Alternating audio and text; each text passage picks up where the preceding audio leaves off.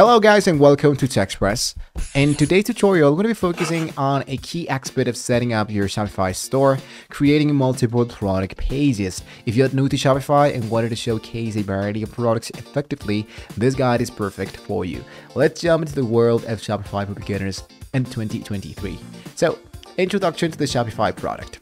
Shopify product pages are the section where we can customers get detailed information about what you're actually selling. It's essential that these pages are clear, informative, and attractive guys. So today we'll be covering how to create these pages from scratch and ensure that they actually stand out. Alright, so adding your first product uh, needed to be done with accessing your Shopify dashboard. So first of all, you wanted to log in into your Shopify store. This is the dashboard or your comment center for all the store related activities. So if you're new to Shopify, you can take a moment to familiarize yourself with the different sections that appears to the left part. You have the right part of your account. You have here the dashboard, you can see everything about things to do next, uh, set up a guide and whatever. So later on, the adding your first product.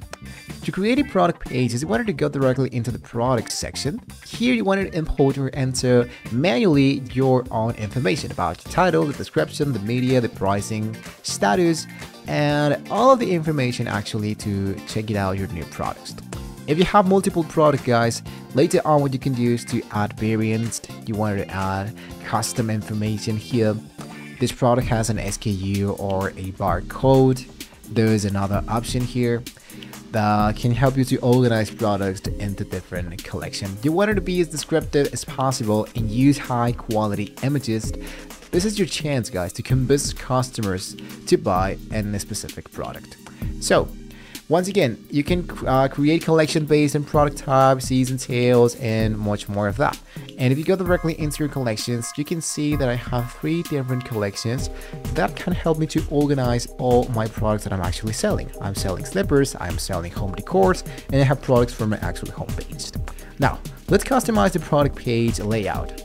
If I go directly into my sales channel, you can see that we have the theme section. I'm going to hit into customize. So Shopify uh, also allows you to customize the layout of an actual product pages. You can edit templates to change how your product information is displayed. While customization options vary based on your theme, common changes include rearranging text and images blocks or adding unique features like size guiding for example.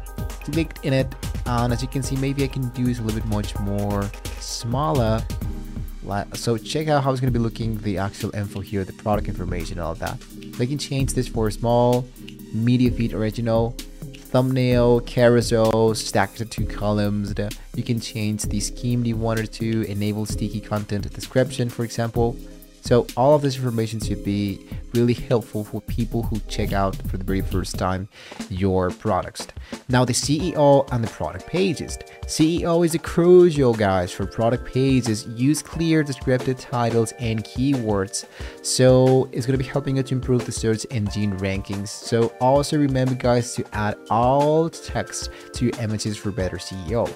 How you can import that, you can go directly once again into products. I'm to click into one of them and I can scroll all my way down and I wanted to find the search engine listed. And I have of course some meta fields. If I check out the meta fields I have the Google custom product. So we go for true. Meta fields without definition. I wanted to save this. And check out here. Here's my global uh, title tag. And here's my uh, global description tag.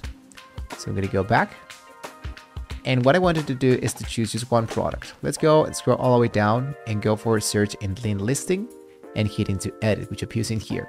So the page title should not be longer than 70 uh, characters uses. Try to be as much as graphic as you can, but you don't want to use a really, really large title, trust me.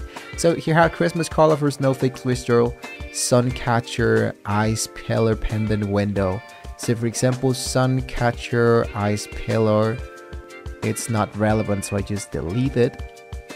Crystal pendant for window right? It, it, it's much so much better. So crystal for window. We'll just leave it like that for crystal. And I have the meta description in here. So I wanted to delete. Check out for any errors here. Uh, ensure that everything looks great. It looks perfectly.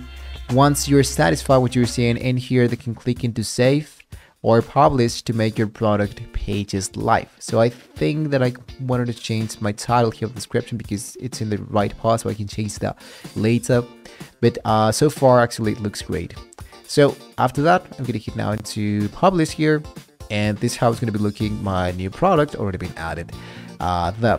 So as you can see, it looks great. That's how you can create multiple product pages into Shopify. If you wanted to create one or more products into your store section, you can go into import and add a CSV file so you can add more than just one product in just one action. So guys, that's how you create a multiple product pages into Shopify. With well-crafted product pages, you're on your way to attract customers and boosting sales. So if this tutorial guys was helpful, please like, share, and subscribe to TechExpress for more Shopify guides. If you got any questions or tips for creating product pages, you can drop them into the comments below. Thank you once again for watching and happy selling. Stay tuned for more beginner-friendly guides to mastering Shopify.